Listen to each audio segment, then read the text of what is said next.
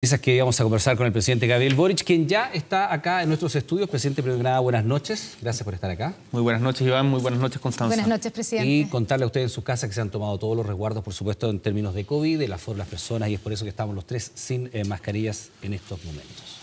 Presidente, tenemos obviamente muchos temas de los cuales queremos eh, hablar, pero es inevitable partir por una de las imágenes del día. Lo mostramos al comienzo del noticiario, eh, los hechos delictuales en este primero de mayo en el barrio Meix, eh, que son disparos, hay tres personas baleadas, heridas, hay una mujer que está con un impacto de bala en la cabeza y que está en riesgo vital.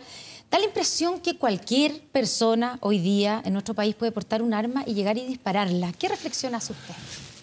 En primer lugar, quiero solidarizar con Francisca Sandoval, con su familia, con las cuatro personas heridas de gravedad, de gravedad en estos incidentes. Decirles de que desde el gobierno vamos a poner todos los recursos a disposición para que la investigación que se tiene que llevar adelante para no solamente detener a los culpables, sino para que haya justicia se lleve a cabo para revisar todos los protocolos de seguridad.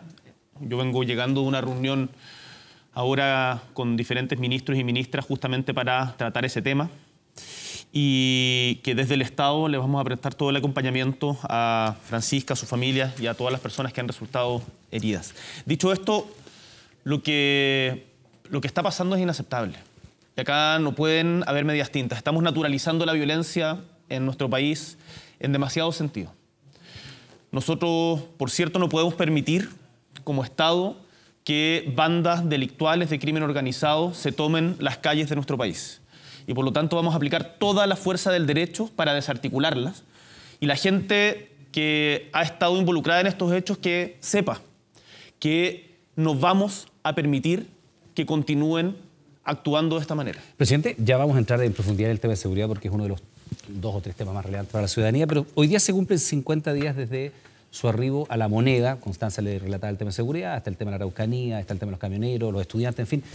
¿Se imaginó lo difícil que era gobernar?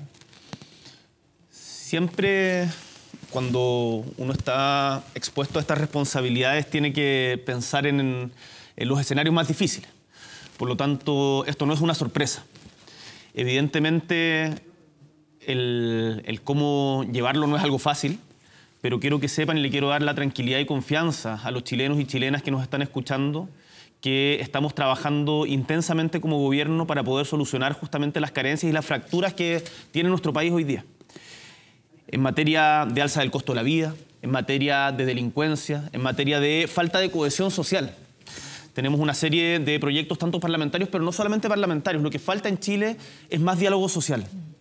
Por eso yo veo como buena noticia, para no centrarnos solamente en los aspectos negativos, lo que pasó con la CUT, por un lado, en donde llegamos a un acuerdo importantísimo en materia de alza del salario mínimo y de enfrentar el alza de la canasta básica, a través de la canasta básica protegida, pero no solamente con la CUT, también con los microempresarios, con las pymes. Yo mañana a las 8 de la mañana voy a tener una reunión con el ministro de Economía y la subsecretaria, justamente para tratar, trabajar con las pymes cómo seguimos adelante en este acuerdo. Y así los diálogos de la reforma tributaria, los diálogos de la reforma previsional, que nos van a permitir sin atajos, porque esto es difícil, poder sacar adelante a nuestro país. Presidente, ¿qué ha sido lo más difícil de estar en la moneda de estos 50 días? Porque usted dice, no ha sido una sorpresa que ha sido difícil o que es difícil gobernar. Ahora, tal vez la sorpresa es que era tan difícil, porque... La magnitud de la dificultad. claro, la magnitud de la dificultad. ¿Qué ha sido lo más difícil? Hay en, el día a día tener la sensación de responsabilidad y de sentido de urgencia respecto de problemas que son tan disímiles y que hay muchos que son heredados y estructurales o pensar en cómo lo podemos hacer mejor, desde la situación en eh, la Araucanía, el conflicto entre el Estado chileno y el pueblo nación mapuche, hasta la falta de agua para los crianceros en la zona de Montepatria para poner dos, eh, o el alza del precio de los combustibles producto de la guerra en Ucrania. Entonces, cuando uno tiene todos estos desafíos, a veces em, pareciera, pareciera ser difícil, pero yo tengo la, tranquilidad, la tranquilidad de que nos estamos haciendo cargo. Tal vez, presidente, las expectativas eran lo más difícil, las altas expectativas, porque, claro, todos los, todos los los presidentes tienen problemas en su inicio, algunos más, otros menos, pero probablemente lo más característico de suyo era el nivel de expectativa, el nivel de popularidad, de esperanza que había cuando usted asumió. No lo vería como...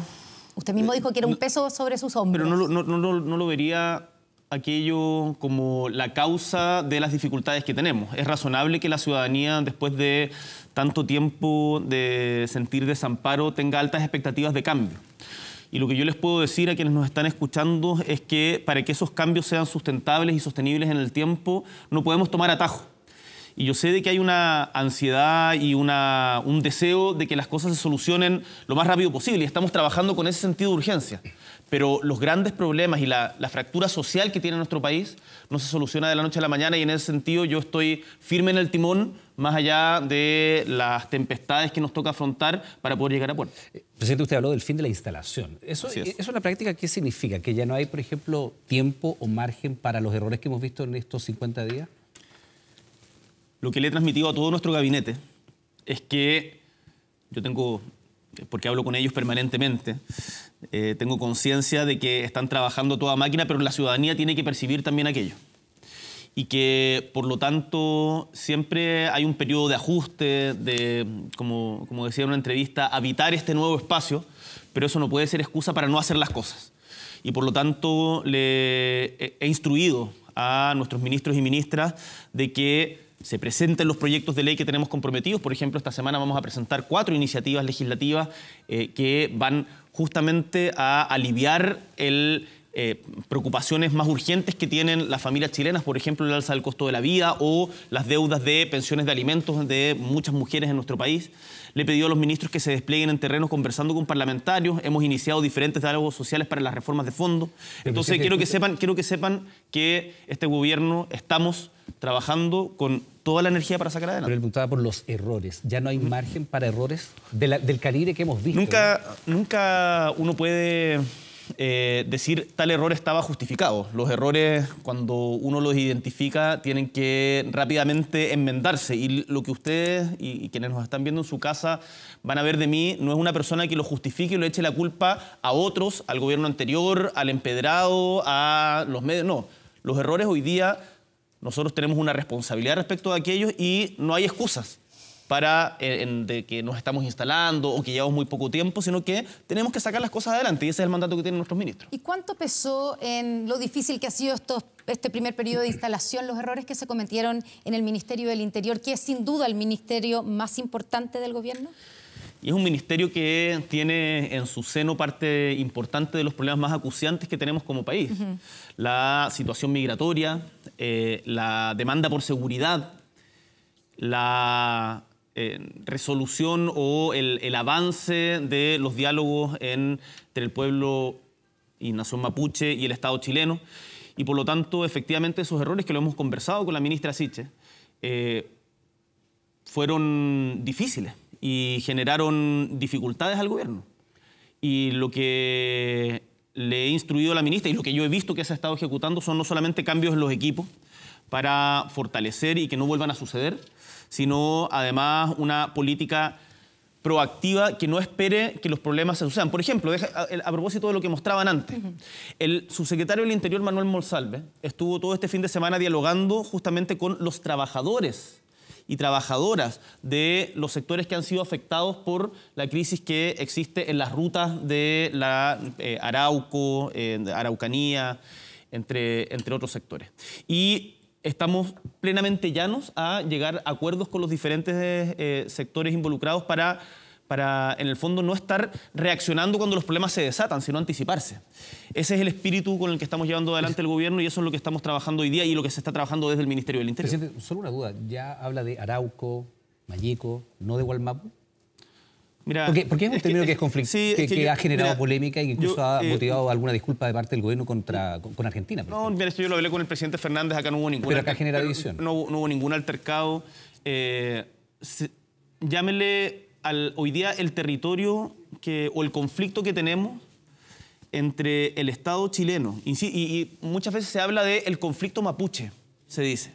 No es que los mapuches tengan un problema, tenemos un problema como sociedad entre el Estado chileno y un pueblo-nación que ha sido vulnerado durante demasiado tiempo y despojado de sus tierras e intentado ser despojado de su identidad. Por lo tanto, el cómo lo abordamos yo creo que no vale la pena centrarse en polémicas semánticas que finalmente nos terminen dividiendo más. El problema, llámelo como le llame, sigue estando ahí. Y por lo tanto tenemos que tener una actitud proactiva en materia de compra de tierras, en materia de que no solamente entregar la tierra, sino que esta venga con acceso a agua, a vivienda, a caminos, a que el pueblo nación mapuche, mediante sus autoridades ancestrales, pueda también reconstituir todo lo que es su identidad a propósito de lo que han realizado otros países, como por ejemplo Canadá y Nueva Zelanda, que me gusta citarlos como ejemplo. Acá no estamos inventando la rueda, esto ya está en el derecho internacional. Podemos hacerlo mejor. No va a ser fácil, no va a ser de la noche a la mañana y todos tienen un rol que jugar, incluido el eh, rol, desde mi punto de vista, eh, negativo que ha tenido la industria forestal en la zona. Ya le vamos a preguntar sobre el tema de la macrozona sur, eh, presidente, pero no quiero que se nos pierda. Usted habló de la ministra Isquiasiches y del Ministerio del Interior. Usted reconoció hoy día en una entrevista que había errores, lo ha dicho también ahora, pero también reconoció que ella perdió credibilidad. Le quiero preguntar, ¿qué le pidió usted que hiciera a la ministra del Interior para recuperar esa credibilidad? Hay una cosa que como generación hemos ido aprendiendo eh, de manera muy veloz, que lo mencionaba también en la entrevista a la que hace referencia, que tiene que ver con eh, cuando uno llega a una responsabilidad tan alta como esta, tiene que, por cierto, darle su propio estilo al ejercicio de la autoridad, pero además tiene que adaptarse uno mismo a la dignidad del cargo porque finalmente estamos representando a todos los habitantes de nuestra patria. ¿Y, la ministra eso implica, y eso implica la dignidad del, yo, Mira, yo estaba recién con la ministra, estábamos conversando eh, recién con ella, entonces yo no, voy a polemizar con la ministra. La ministra, ya lo he señalado, está trabajando intensamente y me consta y dirigiendo el gabinete para sacar el gobierno adelante. ¿Pero qué debiera hacer ella distinto con respecto a lo que usted plantea? Todos, cada uno de nosotros, cada uno de los integrantes del gabinete, partiendo por mí, y también la ministra del Interior, tenemos que estar plenamente conscientes de que todo el día estamos siendo sujetos de evaluación. Por lo tanto, no hay espacio para relajo, no hay espacio para eh, que, eh, por ejemplo, en la situación del avión, que fue una, denuncia falsa. Una, denuncia falsa y una polémica importante. Eh, hay que actuar con mayor rigurosidad. Y acá cada intervención que hagan los ministros tiene que estar respaldada con datos, tiene que estar respaldada con fuentes y tiene que además identificar problemas e inmediatamente identificar solución. En eso, con la ministra Siches estamos plenamente de acuerdo y ella ha actuado en consecuencia y por eso eh, seguimos trabajando juntos. Presidente, pero, pero, en este diseño, evidentemente, usted ya le entregó el apoyo a la ministra, lo ha hecho público, lo ha hecho más de alguna vez, eh, sigue ella siendo ministra del Interior. Y entregar, y entregar, el apoyo reconociendo, también, que, me parece importante, reconociendo los errores. reconociendo cuando hay errores, porque, porque si no... Eh, si no, no vamos a, poder mejorarlo. Ya, está bien, pero, usted, usted le ha entregado el respaldo, ha reconocido los errores, sin embargo, en el diseño se le ve muy flanqueada, se le ve muy apoyada. Habla ella y está siempre con la ministra Vallejo. Ella fue la primera en la Araucanía y ahora es el ministro Ponsalve. Hay una coordinadora eh, precisamente para la zona que no es ella. ¿Cuánto tiempo más resiste una ministra que no está empoderada, más allá de que tenga su respaldo? No, la ministra está empoderada y lo que pasa es que estas cosas te las tenemos que trabajar en equipo. Y lo que yo le he pedido a todo mi gabinete es que acá no hay competencias entre ministros. El que crea que compitiendo con algún par del gabinete va a lograr sacar más luces o, va a tener una mejor evaluación está plenamente equivocado. Y por eso como gabinete somos un equipo y eh, no solamente la ministra del Interior, sino todo el gabinete está actuando en consecuencia. Yo insisto, no quiero eh, peleas de ego, ni eh, el que empiece a obstaculizar la agenda de, de esas maneras, claramente no puede trabajar en un equipo. ¿Pensó en algún minuto en un cambio de gabinete cuando está en medio de la crisis por los dichos de la ministra? No, no, no, no. Eh, uno en, estas cosas tiene que actuar con templanza y no dejarse guiar por muchas veces el ensordecedor, la, crítica ensordecedora que, que uno la tiene que ver con más perspectiva. Me acuerdo cuando un famoso columnista hace varios años, cerca de, de 20 años, pronosticaba que el gobierno de Ricardo Lagos no iba a terminar Ascanio Caballo, si no me equivoco. Eh, y, siempre cuando se escribe al calor de, los problemas, se tiende a, creo, a sugerir soluciones eh, que, que hay que tomar con mucha más templanza. Yo por lo menos trato de ver las cosas con más perspectiva, que es lo que me corresponde como conductor también del gobierno. Presidente, con esa perspectiva, eh, hubo un diseño inicial para la macrozona sur, entremos en el tema del conflicto mapuche, como usted dice, que privilegiaba por sobre otras medidas el diálogo, dialogar con todo el mundo, aun cuando no quisieran dialogar. Incluso con personas que no lo reconocían como autoridad. O sea, el diseño inicial fue la ministra del Interior yendo a la Araucanía a dialogar y siendo recibida a balazos. Luego el subsecretario Monsalve tuvo que cambiar su agenda y hoy día ya hay un, esquema distinto con una ministra coordinadora que está activando la CONADI, que estuvo durante mucho tiempo bastante inactiva, viendo el proceso de compras de tierra, dialogando... Una con, una subejecución presupuestaria... Importante. Lo, hemos dicho acá en la noticia, había una, una, subejecución del presupuesto que es importante, pero ahora se está activando. ¿Fue un error de diseño inicial? ¿Fue un diseño quizás un poco ingenuo para un problema tan grande y tan complejo como ese? Es que el diálogo es el método uno de los métodos. Es uno de los métodos, por cierto, y es el método... Por eso le pregunto, el solo ese método. es el método a través del cual de nosotros creemos que eh, podemos llegar a resultados diferentes. Ahora, respecto a este tema, no hay atajo. Y hay mucha conversa, mucha reconstitución de confianzas que hay que tener con mucha paciencia. Cuando yo he estado en la Araucanía, eh, una de las cosas que me dicen, por ejemplo, las comunidades es que no vengas con los tiempos Winca no vengas con los tiempos Winca en el sentido de que uno siempre va apurado a la conversación, rápido, me tengo que ir a esta otra actividad porque me está esperando la prensa. No, esto hay que hacerlo con mucha más calma, con, mucha menos parafernalia también. Acá, para reconstituir estas confianzas, eh, no, esto, esto no es una maniobra comunicacional. Perdón, ¿hubo algo de parafernalia en ese primer despliegue? Yo creo que en el primer despliegue claramente no se cumplió ninguno de los objetivos que, o no se cumplió el principal objetivo que tenía, que era justamente tratar de reconstituir las confianzas. Y en eso hay una responsabilidad del gobierno también. Y eso es justamente lo que eh, hoy día estamos trabajando en otra dirección. Pero esto, yo, quiero invitar también a quienes nos están viendo a que reflexionemos más profundamente sobre este asunto. La inseguridad que existe hoy día, que es real, que tenemos que abocarnos a solucionarla, que no podemos permitir que los eh, atentados o la quema de, o, o, los daños a personas, hay personas dañadas, tenemos que estar con las víctimas. No podemos permitir que eso se naturalice. Eso es una consecuencia de un problema mucho más profundo. Si abordamos solamente la consecuencia y no, abordamos paralelamente la raíz a través de lo que yo decía, por ejemplo, de un proceso distinto de compra de tierras y de reconstitución territorial en función del derecho internacional, vamos a seguir haciendo lo mismo. Y yo sé que vamos a tener muchas presiones. Lo siento día a día.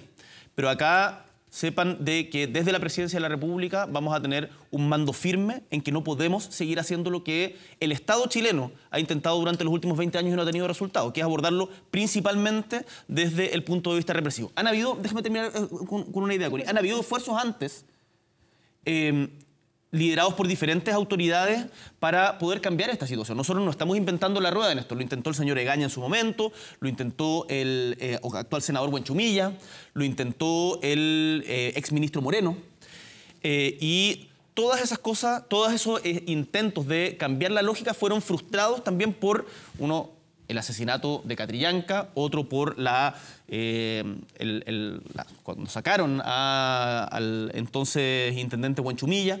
Hoy día nosotros queremos decirle y transmitirle a la gente que lo vamos a tomar en serio y esperamos lograr llevar adelante esta política. Ya, usted dice que, claro, que las cosas no se hacen, digamos, eh, eh, a corto plazo, pero hay un tema de la seguridad Por cierto. que hoy día está afectando, que usted dice, a las personas, eh, a la, cantidad de ataques que han habido en, estos últimos, en estas últimas semanas, que sí es urgente, obviamente, porque para la gente que vive ahí y que está siendo afectada se transforma en algo urgente. Usted dice que no habrá estado de excepción en la macrozona sur, que esa no es la solución. De hecho, no pasó nada o no sirvió, eh, usted ha dicho, según sus palabras. Expandió el conflicto. Ya, en el gobierno anterior. Pero tampoco ha servido hasta ahora eh, el que no haya estado de excepción. De hecho, las cifras que son, las voy a citar, ¿cierto? Según la multigremial de la Araucanía, desde que terminó el estado de excepción, los ataques en la macrozona sur han aumentado un 169%, según Corma es, es muchísimo más, es un 700% tras el fin del estado de excepción. Entonces, más allá de las cifras, en concreto, ¿qué hacer ahora para garantizar la seguridad en la zona? Porque hoy día no se está garantizando esa seguridad. Acá tenemos un, problema de larga data. Desde el primer atentado, si mal no recuerdo, en Lumaco en 1997, ha habido un ascenso permanente que se disparó, además en los últimos cuatro años, en donde se cuadruplicaron los, eh, las acciones violentas en la zona.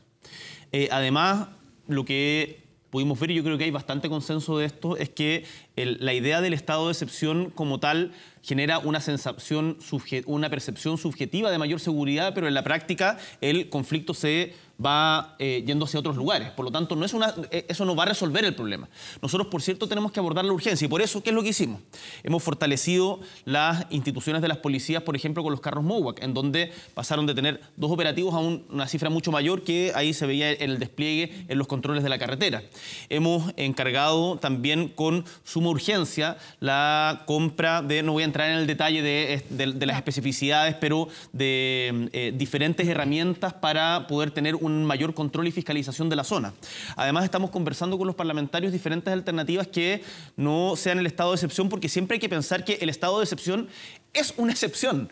Y durante, mucho, durante un rato parecía que había un ánimo de naturalizarlo. No se puede vivir en estado de excepción. Y, y por lo tanto, nosotros paralelamente a que vamos a hacer todo el esfuerzo por mejorar la seguridad en las rutas en el sector, estamos desplegando una política en materia de vivienda, una política en materia de eh, perímetros de exclusión para el transporte, en materia de salud, de fortalecer las postas rurales, que es finalmente también lo que permite que vuelva a haber encuentro social acá. acá, insisto, no hay soluciones rápidas. presidente, los ataques? Tuvo, hay un ataque del último de 35, 35 maquinaria incendio, 35 maquinaria. Hay dos camioneros que la semana pasada recibieron bala y uno Constanza, ¿cómo, cómo, ¿cómo podría yo desconocer los hechos? Eso sería de un absurdo total. como no, eh, los hechos son la, la, realidad uno tiene que enfrentarla como es, aunque no le guste. ¿Presidente? Lo que nosotros estamos diciendo es que para tener resultados diferentes tenemos que tener acciones diferentes. Y por lo tanto yo le pido a nuestros compatriotas que tengan confianza de que esto lo estamos abordando con la mayor seriedad, cautela y sentido de urgencia que corresponde. Claro, presidente, no se puede normalizar un estado de excepción, es un, hecho, pero tampoco se puede normalizar que no se pueda transitar por supuesto, zona. Por supuesto. ¿Usted tiene pensado ir a la Araucanía como presidente cuándo, en qué condiciones, hacer qué? Pero yo tengo que, eh, voy a recorrer todo el país. Eh, por supuesto que tengo que ir a la Araucanía. ¿Cuándo? Una de las cosas, no, pero es que no te voy a decir una fecha no, ahora. Pero lo tiene planificado ahora, no, que si se anunció cuando iba a Coquimbo, por ejemplo. No te, voy a, y ahora Magallanes. También. No te voy a anunciar una fecha ahora, pero por supuesto que tengo que ir. Eh, ¿Y que lo estamos, es que tenemos que generar las condiciones de que, de que pueda ir. no puede ser de que eh, yo tenga, sería un error de mi parte el decir, no, a este lugar no voy porque es muy complicado. Tengo que estar ahí, tenemos que generar las condiciones para que ese viaje, por cierto, sea seguro y que sea un aporte a la solución del conflicto. Yo no voy a ir a lugares para... Eh, tratar de tener una maniobra comunicacional o decir aquí estuve y que no, no cambie nada. Vamos a ir cuando estén, eh, yo espero pronto, cuando podamos garantizar las condiciones y que sirva para la resolución o avanzar en la resolución del conflicto. Perdón, presidente, ¿y hacer qué a la Araucanía? ¿A hablar con quién? Pero mira, nosotros estamos desplegando, como te contaba antes, una nueva lógica de, en la compra de tierra. Tú sabes que hoy día tenemos cerca de 950 predios con solicitudes de aplicabilidad. De esos 950 predios, eh, aproximadamente un 10% de aquellos tienen el trámite listo y de eso solamente un tercio contaba con el presupuesto cuando llegamos.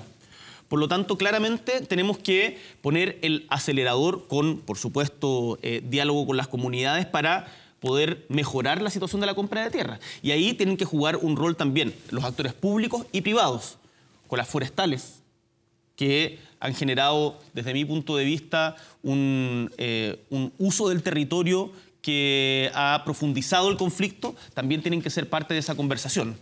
Y ¿Están por conversando con ellos? Estamos conversando, estamos conversando. La ministra de Desarrollo Social se reunió con ellos la semana pasada en La Moneda. Entonces, eh, yo, Iván, no te voy a decir ahora, te puedo adelantar. Eh, hoy día en la provincia de Mayeco es más caro construir. Por lo tanto, los subsidios habitacionales no podemos establecerlos solamente en función de parangones nacionales sino que tenemos que generar una especificidad para la provincia de Mayeco. Tenemos un problema con el agua potable rural, estamos generando un programa específico sobre agua potable rural. El tema de la construcción de caminos. Entonces, hay anuncios que hacer, los estamos trabajando. Hay muchas de estas cosas que se tienen que trabajar en conjunto, porque tampoco la vieja solución de que desde Santiago te digo cómo voy a solucionarte los problemas en tu casa sin haber estado nunca ahí, no corresponde. Por eso eh, hemos tenido varios viajes de diferentes autoridades, del subsecretario de Interior, del subsecretario de Desarrollo Regional, eh, de ministro de Educación, ministra de Vivienda, ministro de Transporte de la Araucanía. Por lo tanto, el Estado está presente, se tiene que desplegar ahí y yo también, por cierto, me voy a hacer presente en la región. Presidente, el gran tema de preocupación hoy día de la gente es el alza del costo de la vida, la inflación, el alza de los precios, los cuentas, los precios desde el aceite, el pan, hasta la electricidad, la parafina, etcétera. Usted ya anunció dos paquetes de medidas. ¿Es suficiente y qué más viene? Mira, siempre nos gustaría poder hacer más eh, las decisiones que tenemos que tomar respecto a un tema tan complejo y que está afectando a la gran mayoría de los países del mundo. Eh, desde Egipto a España, pasando por Estados Unidos y Argentina. O sea, esto no es una situación eh, exclusiva de Chile. Tenemos un problema de abastecimiento, por ejemplo, en materia de fertilizantes para la agricultura, lo que va además generando un encadenamiento de alza de costos que es tremendamente preocupante y por eso tenemos un plan Chile Siembra, que lo está liderando nuestro ministro de Agricultura, que busca atacar aquello. Eh, siempre nos gustaría hacer más, pero tenemos que ser fiscalmente responsables también. Y tenemos que ser fiscalmente responsables porque la sustentabilidad de la política económica es la garantía de que las reformas se puedan llevar adelante. Y ese es el mandato que tiene el ministro Marcel. Recibimos un escenario tremendamente restrictivo, nosotros, yo he dicho, vamos a respetar el presupuesto que se aprobó el año pasado porque eh, tenemos que apuntar hacia la convergencia fiscal. Tuve una reunión con la directora de presupuesto, Javiera Martínez, y con el ministro Marcel el día viernes, justamente para revisar el estado de las arcas fiscales. Eh, y, estamos tratando y vamos a entregar todos los beneficios que nos sea posible y no jamás recortar derechos sociales. Eso significa, por ejemplo, el, eh, la mejora o el crear la canasta básica protegida porque la canasta básica ha tenido una inflación superior a la inflación que ya es alta. Por lo tanto, cuando nosotros decimos vamos a mejorar la asignación familiar, eh, que mucho se ha caricaturizado, algunos dicen, eh, ustedes están dando un bono de 6 mil pesos. No, señor, nosotros no estamos dando un bono de 6 mil pesos. Nosotros estamos, reajustando, nosotros estamos reajustando en un año, en un año, lo que en eh, la administración anterior se había reajustado de manera mucho, mucho más precaria. Entonces, eh, esto no es sencillamente entregar, entregar plata a tontas y a locas. Acá lo que tenemos que hacer es eh, fortalecer el empleo, tenemos que ayudar a quienes se han visto rezagados, fortalecer a las pymes. Por eso yo quiero insistir en la importancia de las pymes, de las cooperativas, de las ferias libres.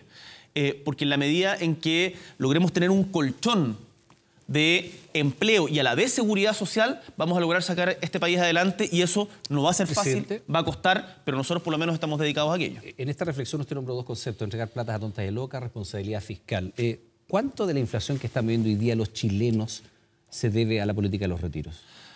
Hay una discusión... Usted ya, reconoció que cambió de posición. Sí, hay, una discusión, hay una discusión abierta respecto a aquello.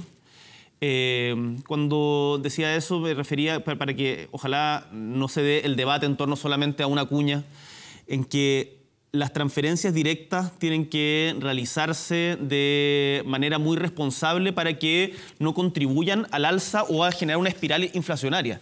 Las generaciones actuales no recuerdan, seguramente porque no, no nos tocó vivirlo, que Chile durante todo el siglo XX con gobiernos de diferentes signos, desde eh, Alessandri a eh, eh, el coronel Ibáñez del Campo, a Salvador Allende, a la dictadura, tuvo un problema inflacionario brutal. Tenemos que cuidarnos de que eso no suceda. Por lo tanto, eh, ante tu pregunta, nosotros tenemos que, o sea, vamos a ser muy responsables en eso. Y la política de los retiros hoy día, y la política de los retiros hoy día. Pero la pregunta es si influyó en la inflación que vivimos hoy día, casi de dos dígitos, la política de los retiros. Influyó, no es la única causa. No, no.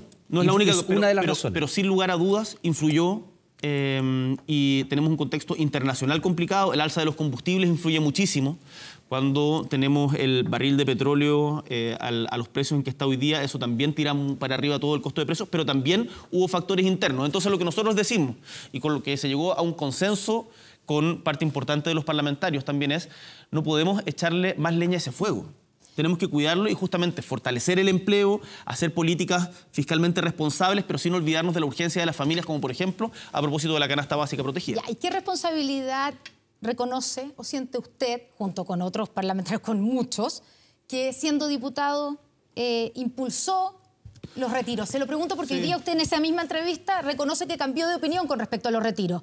Pero evidentemente, y lo dijo su ministro, su actual ministro de Hacienda, ¿cierto? Cuando era presidente del Banco Central, parte de la inflación eh, viene por, los retiros de fondos de pensiones. Y usted lo apoyó, por eso le pregunto, ¿cuánta responsabilidad siente del fenómeno inflacionario que hoy día están enfrentando los chilenos? Por supuesto que tenemos responsabilidad también. Y eh, eh, ahora la situación era muy distinta. Estábamos en un momento, y uno puede evaluar la situación de los distintos retiros. Yo participé eh, activamente en la discusión y tramitación del primer retiro, en donde incluso presentamos la posibilidad de que exista la creación de un fondo colectivo, pensando en la reforma estructural del sistema de pensiones, en donde en ese momento no había ayuda para las familias que realmente lo necesitaban porque estábamos en cuarentena. O sea, estábamos con una... pero eso fue al principio, Perdón, estábamos... No, fue no, no fue solo al principio. Estábamos en, una situación tremendamente complicada, con prohibición por parte del Estado de poder realizar las actividades normales producto de la pandemia y sin entregar las ayudas necesarias, sin entregar eh, en un primer momento iba. Eso fue mejorando paulatinamente. Y yo por eso te digo, efectivamente, nosotros también tenemos una responsabilidad y hoy día lo que nos cabe no es sencillamente hacerse el loco de yo no, yo, no me acuerdo quién era hace un año sino hoy día tenemos esta situación, este es el diagnóstico compartido y tenemos que actuar con responsabilidad, que es lo que me corresponde como jefe de Estado. Presidente, eh, usted tiene claro que viene el invierno, las cuentas más altas, la, energía, la calefacción, eh, la inflación va a llegar a los dos dígitos, eso es casi un dato de la causa. Eh, y, la pregunta es, bueno, ¿estamos en un riesgo de que la inflación se desboque, que sea un problema que haga ver lo de la araucanía, lo de la seguridad como un mal menor? Todo el mundo dice que la, inflación es un tema que, que mata gobiernos. Por cierto, lo hemos visto en muchos países de la región y en Chile, como te decía, durante el siglo XX fue un problema que, ese riesgo existe. Y por eso tenemos que ser particularmente responsables. Ahora, estamos en riesgo de una escala inflacionaria. Estamos, existe riesgo de una espiral inflacionaria si es que actuamos de manera irresponsable. Ahora, yo les puedo dar la tranquilidad de que como gobierno estamos actuando de manera responsable. Y además, la próxima semana lo van a ver, no me quiero adelantar, pero vamos a hacer anuncios también en materia de, regulación para poder observar cuáles son los precios que están subiendo. Estamos trabajando también en eso porque sabemos la angustia del día a día y que hoy día eh, no alcanza para no, cuesta mucho llegar a fin de mes. Por eso estamos... Pero es que fíjese, fíjese, Constanza, de que... Uy, se me bajó esto. Eh, fíjese que estamos trabajando en el acuerdo que llegamos con la CUT un alza, el alza más sustantiva que ha habido en materia de salario mínimo, si mal no recuerdo, los últimos 25 años, y hace seis años que no había acuerdo del gobierno con la, con la central. Hace seis años. Entonces, estamos tratando de ayudar a los que menos tienen, además fortaleciendo la canasta básica protegida, además entregando subsidios especiales a los gobiernos regionales, a ciertos sectores que han sido particularmente golpeados, como el mundo de la cultura, abriendo las fronteras para que pueda reactivarse el turismo, que también es otro de los sectores que ha sido particularmente golpeado. Entonces hay un paquete de medidas para poder enfrentar de manera responsable esta situación que yo sé es acuciante para la mayoría de nuestros compatriotas. Y para los chilenos que nos están mirando, que lo están viendo a usted, presidente, sabemos que mañana, por lo menos vimos por ahí que se reunía con el ministro de Economía y que... exactamente. ¿Van a haber más anuncios acerca de cómo ayudamos a la gente que no puede llegar a fin de mes, que está complicada y que va a estar más complicada todavía cuando estemos en pleno invierno para pagar la cuenta del gas, de la luz. Lo que le puedo adelantar es que hemos trabajado no solamente con el ministro de Economía, sino también con el ministro de Hacienda y eh, la directora de la DIPRES y el ministro de Energía. Era algo que mencionaba Iván que es muy importante en la contención de las alzas de los servicios básicos. Eso sabemos de que producto de la pandemia hay deudas acumuladas que es tremendamente difícil y ya eh, establecimos un mecanismo para poder trabajar en esa materia y que no impacte tanto a los bolsillos de las familias. Además, no solo eso, el día de mañana... ¿Qué van a hacer? El día de eh, dame un segundo. El día de mañana una cuestión que fue muy sentida en la discusión de los retiros y con toda razón, que tiene que ver con el tema de las deudas de pensiones de alimentos. Eh, va la ministra de la Mujer a presentar un proyecto trabajado en conjunto con parlamentarias para poder hacerse cargo de ese drama que viven miles de mujeres a lo largo y ancho de Chile. Respecto, yo, no quiero concentrar en mi persona el anuncio de los detalles de cada uno. Hay que dejar que también el gabinete se muestre. Yo quiero que quienes estén en su casa conozcan a Claudio Huepe, que es nuestro ministro de Energía, que conozcan a Mario Marcel, que conozcan a Antonio Orellana, que conozcan a Nicolás Grau, a Javiera Petersen. Pero nos puede dar un adelanto, ¿no? He dado varios adelantos. Usted, mire, yo creo que la gente en su casa espero que se quede con la idea también después de esta entrevista de que acá hay un gobierno que está trabajando, que tenemos una serie de medidas en diferentes áreas para diferentes sectores eh, en donde no los vamos a dejar solos. Los chilenos y chilenas no están solos, tienen un gobierno de que estamos claros del sentido de urgencia, en particular del alza del costo de la vida y de la importancia de la seguridad, además de las reformas estructurales que se están impulsando en nuestro país y por los cuales estamos en el gobierno. Usted habla de, que no está alcanzando la plata en el supermercado, eso lo sabe la gente que va al supermercado, sabe que el pan está a 2.600 el kilo, el aceite sobre los 4.000 pesos. Incluso 5.000 ha llegado el aceite en algunos casos. Ya, en ese caso en particular hay algunas, eh, algunos indicios, de hecho organizaciones de consumidores han pedido investigar. Para ahí va. Eso es lo que te estaba diciendo. la, pregunta es, ¿esto se explica solo por la inflación o, por la carencia que hay de, producción de aceite en el mundo a propósito de la guerra de Ucrania? ¿O podría haber otros factores que atentaran contra la libre competencia? Eh, eventualmente podrían existir otros motivos y si esos motivos existen, el gobierno no se va a quedar de brazos cruzados. ¿Colusión, por ejemplo? Es uno de los eventuales otros motivos. en, esto, el presidente como presidente de la República, tengo que ser muy responsable y no hacer acusaciones al voleo. Por eso lo que, pregunta una, eventualidad. Lo que, puedo, lo que puedo decir es que en la eventualidad de que haya colusión, el gobierno no va a ser indiferente. Eh, y eso es justamente lo que estamos trabajando y parte de lo que vamos a anunciar en nuestra gira regional de esta semana. Presidente, hablemos de la Convención Constitucional y de la nueva Constitución. ¿Sigue pensando que cualquier constitución es mejor que una redactada por cuatro generales, como usted dijo? Eh, una polémica en torno a esa discusión y quiero ser muy claro, yo creo que el proceso constituyente que estamos teniendo hoy día en Chile es valioso en sí mismo y que por lo tanto, en términos de legitimidad, en términos de legitimidad democrática, de origen, lo que emane de este proceso es sin lugar a dudas más legítimo que lo que sucedió con la Constitución del 80, que fue impuesta no solamente en un plebiscito fraudulento, sino a sangre y fuego. Recuerden el, mismo, recuerda el mismo Frei Montalva. Yo sé la discusión con el expresidente Ricardo Lagos. El presidente Ricardo Lagos dijo, la salió básicamente a corregirlo y dijo que tiene su firma, por lo tanto, que ya no es la constitución de Pinochet. Pero esto es, mira, yo no voy a tener una polémica con el presidente Lagos, a quien le tengo un profundo respeto y con quien además eh, permanentemente compartimos impresiones respecto a el rumbo del país, porque eh, siempre es bueno escuchar a quienes estuvieron antes. Así que eh, yo creo que el punto está zanjado, yo me refiero a la legitimidad de origen de la constitución y por supuesto que me preocupa el contenido de la misma y lo que están trabajando tanto los convencionales como el gobierno es que esto yo espero y vamos a dar lo mejor de nosotros para que sea el 4 de septiembre un punto de encuentro que nos permita tener una nueva constitución generada por primera vez en nuestra historia de manera democrática, con paridad, que es un orgullo a nivel mundial, con participación de los pueblos originarios y con un debate que no ha estado exento de ripios, que no ha estado exento de dificultades, algunas veces... Eh, que, han llevado polémicas que nos desvían del tema de fondo, pero que yo sigo teniendo esperanza en el proceso. Y después del instructivo de la Contraloría sobre la, presidencia de las autoridades, el gobierno sigue declarándose no neutral frente a este proceso, porque eso, es muy, importante. Aquí tanto la opción del rechazo como la prueba son válidas y el gobierno tiene que dar garantía para ambas. Yo lo conversé con el Contralor antes de esa declaración y con el Contralor estamos plenamente de acuerdo. El gobierno tiene que entregar todas las garantías a ambas opciones para que puedan desplegarse en el espacio público y que lo puedan hacer con seguridad e igualdad de, condiciones. Ambas alternativas son válidas. Además, el gobierno no puede utilizar, y eso es un instructivo que le hemos dado a todas las autoridades de gobierno, recursos públicos para promover una u otra opción. Y las autoridades de gobierno no pueden utilizar recursos públicos para ello ni en horario laboral hacer campaña por una u otra opción en lo que el Contralor también está de acuerdo con nosotros es que como personas políticas y como ciudadanos tenemos derecho a tener una opinión respecto al fondo del asunto. Y sería absurdo, y yo creo que nadie nos creería que si es que yo dijera, ¿sabe qué? Yo no voy a opinar respecto al contenido del asunto, de, el hito más trascendental quizás de la historia democrática de Chile de los últimos 25 años, que es lo que va a ser el plebiscito. Eh, yo me la jugué por el proceso constituyente, sigo creyendo en que Chile necesita una nueva constitución.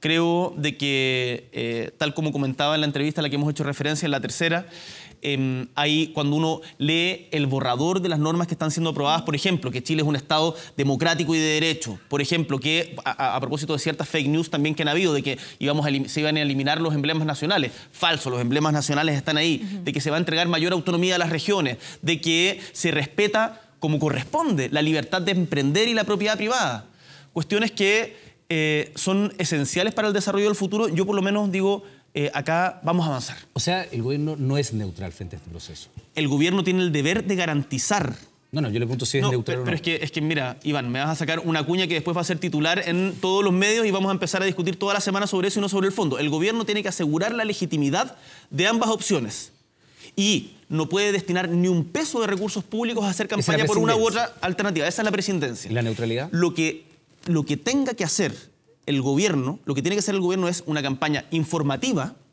informativa que tiene que estar sujeta al escrutinio, por cierto, de los medios y ojalá de, bueno, de, de toda la sociedad, y además de promoción del voto. Recordemos que estamos ante voto obligatorio. Obligatorio. Pero el gobierno no va a destinar ni un peso de recursos públicos a hacer campaña por una u otra alternativa. Y eso que quede claro. Esa es la neutralidad que nos exige Contraloría, con la que estamos absolutamente de acuerdo. Y como personas políticas, cada uno de nosotros podrá tener una opinión. Y esa opinión es legítimo que se manifieste en espacios como esta entrevista. Ya, y esa opinión entonces usted, entendemos por sus palabras que está por el apruebo. Yo soy partidario de que tengamos una nueva constitución, por supuesto. Ya, y la que llevamos hasta el momento con el borrador que tenemos hasta el momento, con lo que se ha aprobado, usted votaría apruebo. Claro. Ya, presidente, ¿qué pasa si gana la opción del rechazo? Porque hay dos opciones en el plebiscito de salida. Por supuesto, El son apruebo y el rechazo, exactamente. ¿Qué pasa si gana el rechazo? ¿Cuál es el plan del gobierno? Primero, eh, ambas opciones son igualmente legítimas. Y, por lo- y acá no cabe, y no, no van a escuchar jamás desde mí, ni campañas del terror, ni eh, en uno u otro sentido, como las hemos visto muchas veces en, en- en estos dilemas, eh, ni desacreditar la, valga la redundancia, legitimidad de una postura. Primero, si es que gana la opción que no sea la mía, nosotros tenemos el deber de seguir gobernando el 5 de septiembre. Y yo he escuchado un consenso bastante transversal entre los diferentes actores políticos de que la constitución actual, más allá del año que le pongamos o la firma que tenga, hoy día no es representativa de la sociedad chilena y que por lo tanto tiene que ser cambiada estructuralmente. ¿Cuál es el mecanismo en la eventualidad de que eso suceda? No es algo que me corresponda adelantar todavía. Yo espero que esto lo podamos resolver el 4 de septiembre en un plebiscito que sea convocante y que cuente con todas las Pero, presidente, es bastante obvio que si gana el rechazo es un fracaso para el gobierno también, ¿no? Desde el punto de vista político. Yo creo que... Todo lo que usted ha dicho, porque usted por lo que significó el acuerdo de- yo, yo creo, yo creo es que esto no se puede plantear como una cuestión partisana del gobierno o no. No, no, Esto- esto trasciende esto- las fronteras, pero le pregunto, para, para el gobierno sería un fracaso trasciende, mucho, trasciende mucho más allá. La Constitución no es un capricho del gobierno. La nueva Constitución democrática que tenemos que tener es algo que debemos pensar para proyectar al país a 40, 50 años.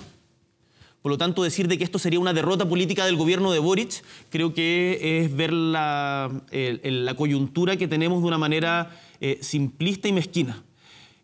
Yo voy a tener, tengo una opción, me la he jugado por la nueva constitución, eh, sigo creyendo de que es absolutamente necesario y evidentemente el, el resultado no me es indiferente, pero el problema es de toda la sociedad chilena, no solamente de mí como presidente. Y los números de las encuestas, ¿qué le dicen en ese sentido? ¿Cómo ha ido creciendo la opción del rechazo frente al apruebo, al menos durante las últimas cinco semanas, en más de una encuesta? Sí, una señal de preocupación que todos, en particular los convencionales, tienen que tomar con la mayor seriedad. Presidente, eh, solo para cerrar una cosa que usted dijo, eh, si es que llegara a ganar el rechazo, usted dice, hay consenso en que igual es necesaria una nueva constitución. Eh, usted está pensando, y por eso le pregunto el plan del gobierno, yo sé que eso no es decisión del gobierno, pero si el gobierno puede hacer un llamado, no sé, el día después, y yo me imagino que ese plan ya está hecho, porque parte de gobernar es ponerse en los escenarios, ¿cierto? Hay que anticipar todos los escenarios Me posibles, aunque sean los más Ya. improbables. Entonces, gana el rechazo. ¿Qué hace el gobierno el 5 de septiembre? ¿Llama a un proceso constituyente? ¿Propone una tercera vía, como se ha propuesto? ¿Cuál es el plan?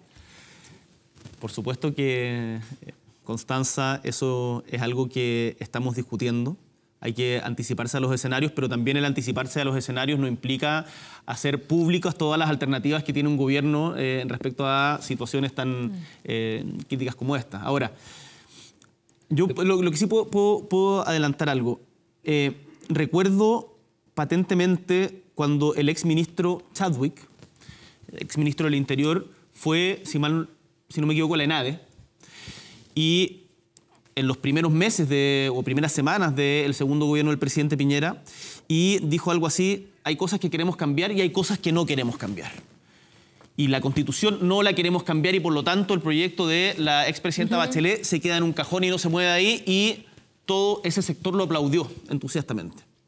Hoy día no me cabe ninguna duda de que hay muchos que les gustaría volver a ese proyecto. Yo lo he conversado con la expresidenta, esto. Y uno tiene que hacerse cargo de la situación y de la realidad que vive hoy día. Y por lo tanto tenemos que ir un pasito más adelante. Eh, los cambios a la constitución actual tienen que ser estructurales y sea cual sea el mecanismo que llevemos adelante para ello, yo espero que sea el plebiscito del 4 de septiembre, que tiene que ser además con un proceso de puesta en marcha que sea paulatino para que se haga bien, eh, no, no, puede ser sencillamente de maquillaje. Presidente, déjeme retomar lo que le preguntaba a Cori, porque más allá de que el gobierno no tenga necesariamente que desplegar todos los escenarios públicamente, sí es política pública saber qué va a pasar eh, si que efectivamente gana el rechazo. ¿Qué va a hacerse?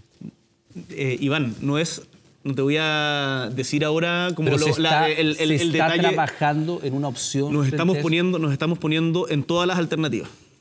El gobierno le corresponde hacerse cargo de todas las alternativas que eh, son legítimas y posibles. ¿Cómo recuperar el proyecto de Michel Bachelet? Yo creo que eso sería, yo, yo creo que eso sería que no alcanza, que eso sería insuficiente. Presidente, em, usted también afirmó hoy día, en, en, la entrevista en la tercera, la necesidad de sacar adelante la reforma de pensiones. Y en ese diseño, las AFP, como las conocemos hoy, dejarán de existir. Eso es lo que usted dijo. La pregunta es, ¿qué rol jugarían las AFP? O, digamos, ¿no tendrían ningún rol? ¿Se terminarían o tendrían un rol de un seguro? ¿Qué pasará además con esos fondos? Usted ha sido muy, em, ha insistido hasta el cansancio en que no se van a tocar los fondos de los trabajadores, que son de los trabajadores. Pero, ¿qué pasa con los futuros? Si es que habrá fondos futuros? Mira, hay una norma que se aprobó en la convención que a mí me hace eh, total sentido y que creo, a propósito de tu pregunta, importante recalcar. Los ahorros previsionales tienen que ser destinados a pagar pensiones y por lo tanto no se pueden ocupar para ninguna otra fuente. Y esto es un principio que como gobierno vamos a defender de manera clara e inequívoca. El gobierno jamás va a utilizar los fondos de pensiones para otra cosa que no sea pagar pensiones. Dicho esto, eh, lo decía el presidente de la CUT. Dos gobiernos sucesivos han de diferentes signos han intentado sacar adelante la reforma previsional y por discusiones políticas no lo hemos logrado sacar adelante.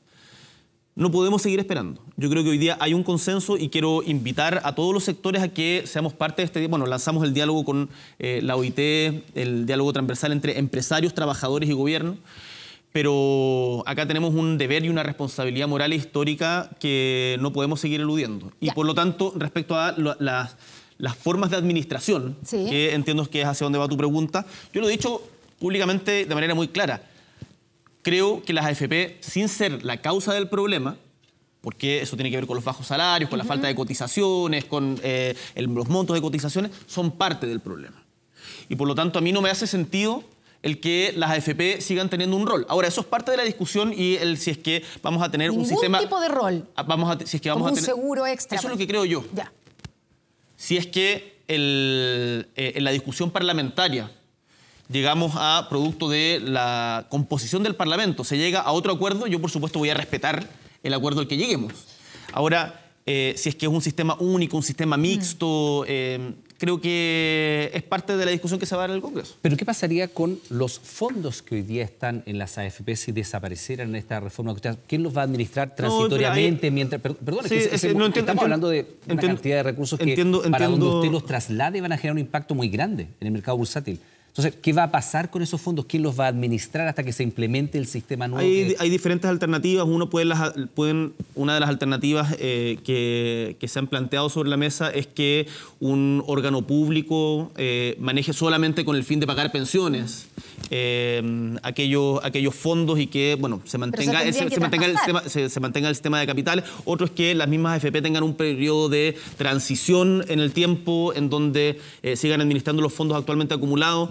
Eh, no, lo, lo que los chilenos tienen que tener claro es que la reforma tiene como norte que todos tengan pensiones dignas que más allá de las discusiones que tenemos en política eh, respecto de quién va a administrar esos fondos, tenemos el deber de llegar a un acuerdo y yo como presidente voy a propiciar aquello. ¿Y habrá cuentas personales, presidente, en el, el futuro sistema previsional? Porque, de nuevo, o sea, tenemos claridad de parte suya, y lo ha dicho, insistido, no se tocarán los fondos que son de los trabajadores.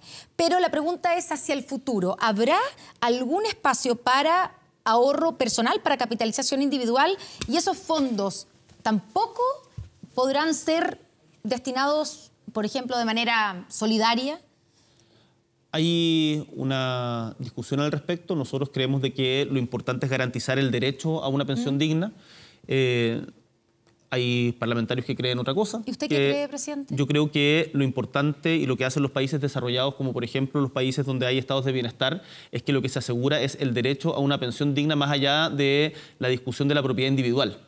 Eh, sin embargo, entiendo que eso es un debate legítimo, no me pierdo en eso. Yo lo que voy a garantizar es que, a fin, o, lo que me lo voy a jugar, es que eh, logremos sacar adelante la reforma de pensiones y que ningún sector, por, su, por no lograr el 100%, boicotee el que el adulto mayor que está en su casa no pueda tener una pensión digna después de toda una vida de trabajo. Presidente, y, en el tema salud también avanzan en la convención hacia un sistema nacional público donde desaparecerían del escenario los prestadores como las eh, ISAPRES. ¿Qué pasaría con los prestadores privados de salud? No, tienen, desde mi punto de vista, todo el... Mira, esto tiene que ser como funcionó en la pandemia. Los prestadores privados de salud hoy día cumplen un rol importante también. O sea, las clínicas privadas. Yo creo, eh, mi posición por lo menos es que uno no puede prescindir de quienes están entregando hoy día eh, servicios importantes de salud y que son un complemento y que van a seguir siendo un complemento importante al sistema. Lo importante es que tengamos un eh, sistema público en donde, y esto lo va a entender quienes están en su casa, en donde no dependa de la cantidad de plata que tienes en el bolsillo la calidad de la salud a la que accedes. Por lo tanto, yo ahí no tengo problemas ideológicos con los prestadores privados. ¿Y con las ISAPRES?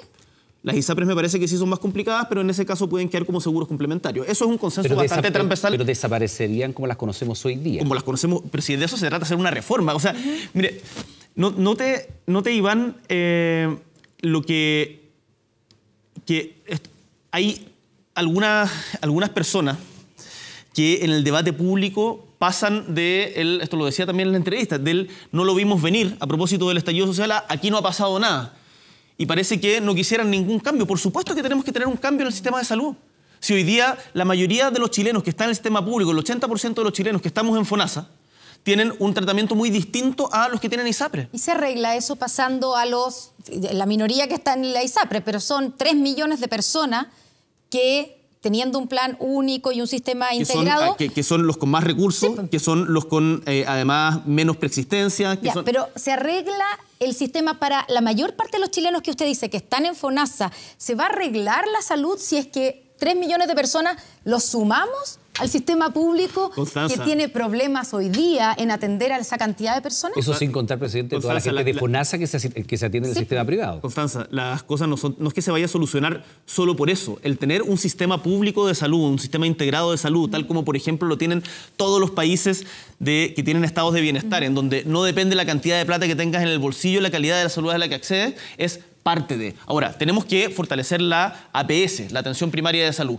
Tenemos que mejorar las postas rurales también. Tenemos que eh, que los hospitales de regiones tengan también capacidad de resolver procesos de alta complejidad, como por ejemplo, no sé, eh, un centro oncológico en Calama. Entonces, ¿Se va a solucionar solo por esto? No, por supuesto que no. Es mucho puede empeorarse la situación. Por, eso, eso, por eso es la, pregunta. ¿Usted cree, Constanza, de que yo haría o impulsaría algo que eh, yo tuviera la duda de que empeoraría la situación actual. Por supuesto que no. Nosotros queremos una reforma, queremos una reforma de salud. El actual sistema de salud que tenemos en Chile claramente no da abasto. Por supuesto. Eso es un consenso. Tenemos que hacer cambios, no podemos mantener las cosas como están.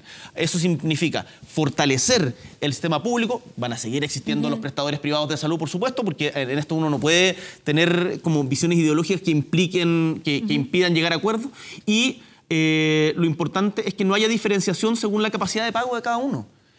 Eso es lo que nos comprometimos como gobierno y eso es lo que vamos a impulsar y además existe amplio consenso académico al respecto. Presidente, comenzábamos esta entrevista recordando los 50 días del inicio del gobierno que no han sido nada de sencillo y le comentábamos los números de la encuesta, usted los ha visto naturalmente. Se demoró cinco semanas en llegar a los niveles de, de rechazo que tuvo el presidente Piñera o 37 en el caso de la presidenta Bachelet. ¿Cómo ve los próximos 50 días? ¿Se puede revertir esa tendencia? A la caída en la aprobación popular? por supuesto que se puede revertir. Y a mí me ha tocado estar arriba y abajo en las encuestas y quiero que sepan quienes nos están viendo que en la medida en que nosotros impulsemos y nos preocupemos de las necesidades de los chilenos y chilenas, por ejemplo, las alzas en el costo de la vida o la seguridad, no me cabe ninguna duda que esa percepción subjetiva que eh, existe hoy día va a ir variando positivamente. Yo soy un optimista empedernido que nos hacemos cargo, por cierto, de los errores y las dificultades, no negamos la realidad, pero no me dejo angustiar por las encuestas de los fines de semana. ¿Y qué quiere para los próximos 50 días, presidente? Para los próximos 50 días a mí lo que me gustaría y el llamado que hago es que como sociedad entendamos que tenemos fracturas que son graves, tenemos dolores que, de, desigualdad, de violencia, de delincuencia que, y, atrasos que eh, no podemos dejar pasar pero que a la vez nos dispongamos todos a no ver en el otro un enemigo, a que podamos conversar para llegar a acuerdos y no solamente para reafirmar la posición propia, y que logremos sacar adelante, no solamente en la política y en las instituciones, sino también en la sociedad civil, un, acuerdos de convivencia nacional que permitan que no se repitan situaciones como la que está viviendo, por ejemplo, Francisca hoy día, o eh, también jóvenes que han sido golpeados o las situaciones de delincuencia que estamos viendo. Eso es lo que yo espero, eso es lo que estamos trabajando y vamos a tener firmeza y también mucho cariño para hacer esa pega. Presidente Gabriel Boric, le queremos dar las gracias por haber visitado los estudios de 24 horas. Un gustazo. Los primeros 50 días, que no han sido sencillos, pero repasamos por casi todos los temas que teníamos acá. Faltaron algunos todavía. Siempre quedan algunos pendientes, pero, mira, muchas gracias. Eh, mm. Uno sabe que estas cosas no son sencillas, pero yo estoy contento porque estamos dando lo mejor de nosotros y no tengo ninguna duda de que vamos a salir adelante como país. Más allá de las diferencias políticas, vamos a salir adelante como país y en eso va a estar todo mi esfuerzo y toda mi entrega. Un abrazo. Hacemos una pausa. Estamos de regreso de inmediato en 24 horas. Espérenos. Gracias, presidente. Un gusto. Buenas noches. Buenas noches.